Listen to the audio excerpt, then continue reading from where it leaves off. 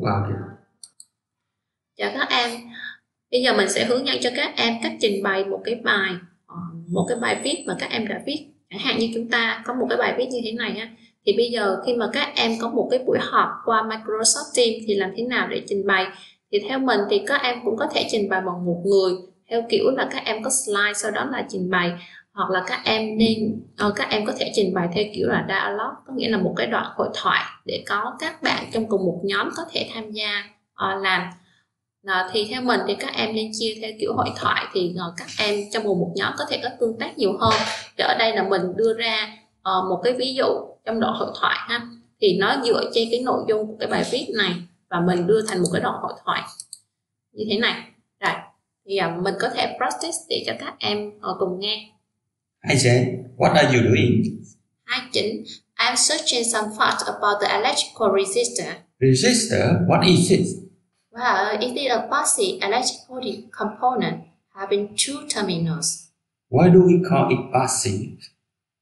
Oh, they say that uh, it's because uh, it cannot generate energy. Really? Tell me more about it.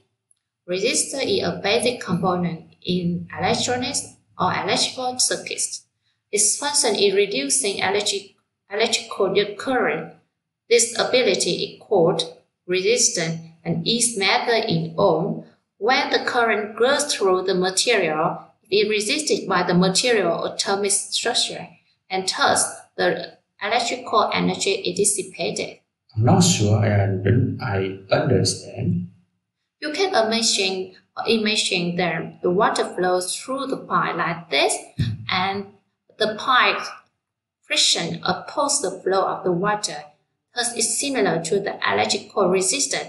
In this case, the pipe is the size is large, and then it, it have a low resistance. In this case, because the pipe have a small part here, then it gives a large resistance.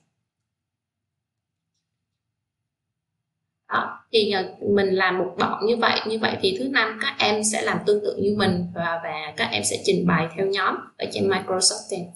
Chào các em.